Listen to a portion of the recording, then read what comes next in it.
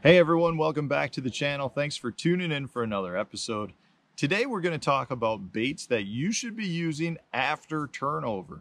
And what I mean by that specifically is when you're in that temperature range, water temperature range of in the low 50s or cooler all the way to ice up, your bait selection becomes very critical in terms of how much success you're going to have on the water. And what I mean by that is you've got a lot of factors working against you as soon as your turnover happens on your lake. So turnover will happen relatively in the mid 50s, somewhere in that range. And what happens is you get a complete flip flop of the water that's in your lake. So during the summer months, you get a thermocline. The cooler water below that thermocline has very little dissolved oxygen. The fish don't generally go below that. So you're talking anywhere from 15 to 30 feet is where the fish are condensed to be. So the top 15 to 30 feet of a lake. Well, after your turnover happens, you get a big flushing of water, your thermocline disappears, and therefore the fish can pretty much go anywhere. They could be down in 100 feet of water. And for the most part, you're talking about anywhere from zero to 50 feet of water becomes the, the playing field, which means maybe double the amount of water you had during the summer months for those fish to spread out. So that's one factor that's working against you. They're spread out a lot more. Another is the water temperature will continue to drop. And as you have falling water temperatures, you have less active fish. Fish aren't feeding as much because they're cold blooded. They don't need to eat as much. And that makes it tougher to fish. And lastly, one of the main forage species, the crayfish, goes into hibernation. And regardless of species, your spotted bass, smallmouth, largemouth, all love to eat crayfish, but they go into hibernation when the water gets into that mid 50s as well. So it gets tougher to catch fish in the colder waters, but I've got some baits here that will help you be more successful on the water after turnover. You know, the main thing is you need to kind of replicate what the forage is for that lake. The fish become very, very picky in cold water because they don't need to eat that much. So if you're in the north where maybe your lake is a bluegill fishery, that's the primary primary forage species. Maybe you've got uh, alewife, maybe it's perch. If you're down south, maybe it's gizzard shad or threadfin shad or blueback herring. Regardless of what it is, you're gonna want to try to match the hatch a little bit. But just keep in mind that the fish are going to key in much more on bait fish. You also, once you get down into that cooler water temperature, you get a lot of bait fish die off just because the fish are having a hard time adjusting to that cold water. You know, they call it, you know, a shad die off when the shad don't don't survive well with the colder water temperatures, but it happens with every species. We have the same thing up here with Cisco. We have yellow perch sometimes don't handle it that well, and you get a die off.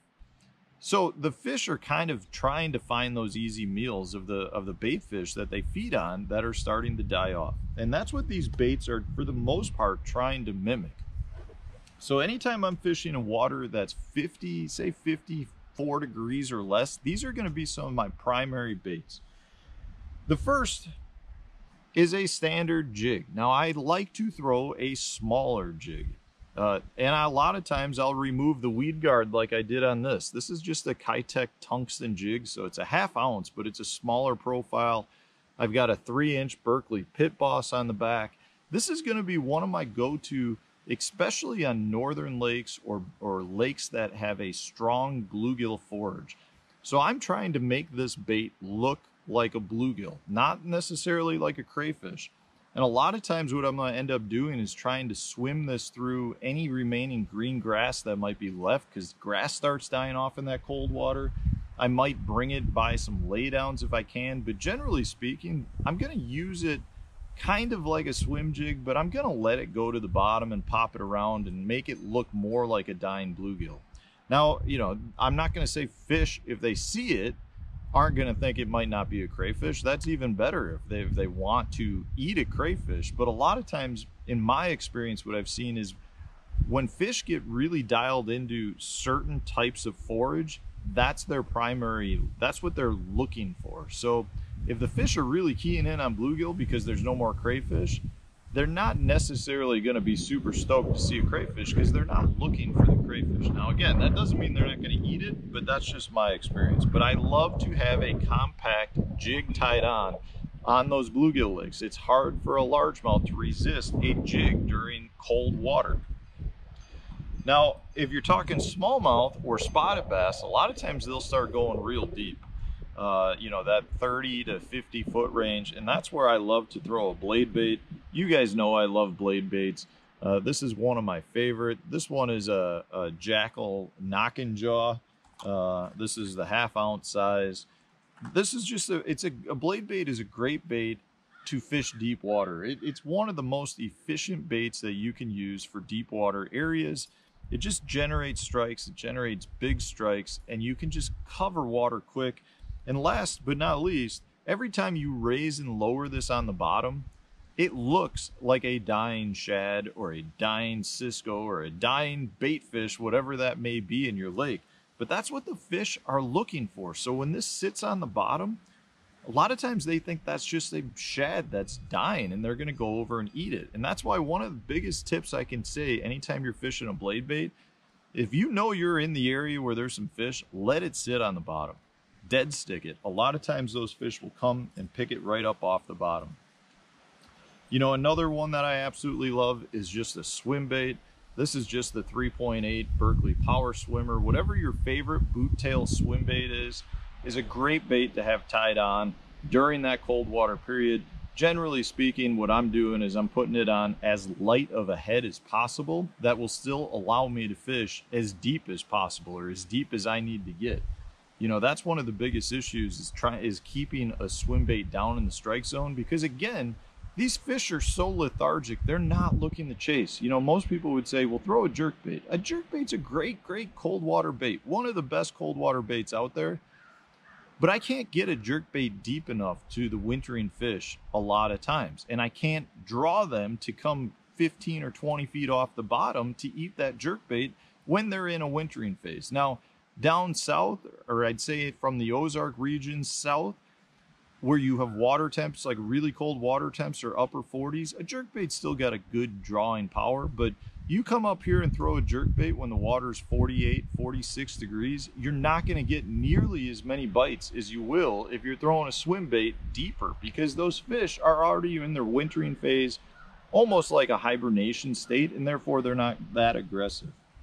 The last one, again, is another bait that I really like because it mimics a bait fish and it's this Berkley vibrato and it's very much like a a crossover between a jigging spoon and a blade bait. So you can fish this vertical, you can cast it, it's got a very good fall to it.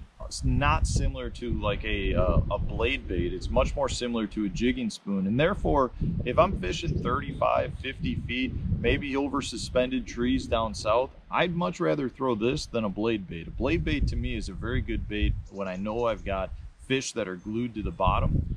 But not only, you know, is this a good bait for doing that, but you can also do it on those suspended fish uh, like I said, if you're on a Lewis Smith Lake and you've got wintering fish that are down over suspended trees, give the vibrato a try. It's one of my favorite cold water baits.